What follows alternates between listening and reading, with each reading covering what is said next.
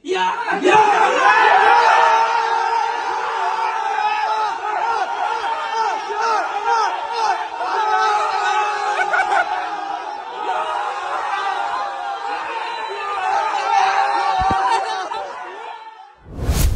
Laga Kyrgyzstan versus Oman di grup F Piala Asia 2023 berakhir imbang 1-1. Hasil itu turut membantu Indonesia lolos ke babak 16 besar.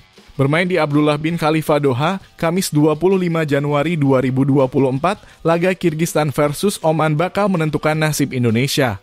Sebab ketiga tim masih berpeluang lolos ke 16 besar Piala Asia 2023. Kirgistan dan Oman harus menang untuk memastikan kelolosannya, sementara Indonesia harus berharap keduanya imbang.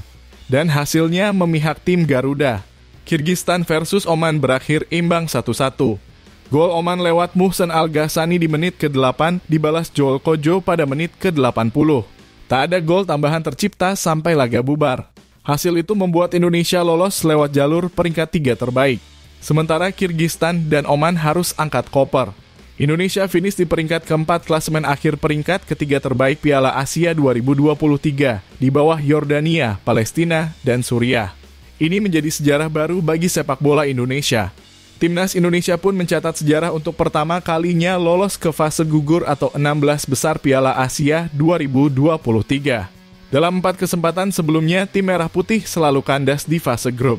Selain Indonesia di Piala Asia 2023 ada dua kesebelasan yang untuk pertama kalinya tampil pada babak 16 besar.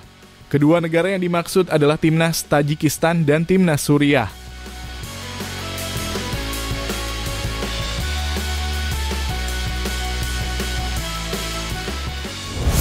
Praktis, timnas Indonesia melengkapi 16 peserta di babak gugur Piala Asia 2023. Di babak 16 besar Indonesia, sudah ditunggu timnas Australia. Laga ini akan digelar pada Minggu 28 Januari 2024 pukul 18.30 waktu Indonesia Barat. Patut dinanti sejauh apa langkah Marcelino Ferdinand dan kawan-kawan di Piala Asia kali ini.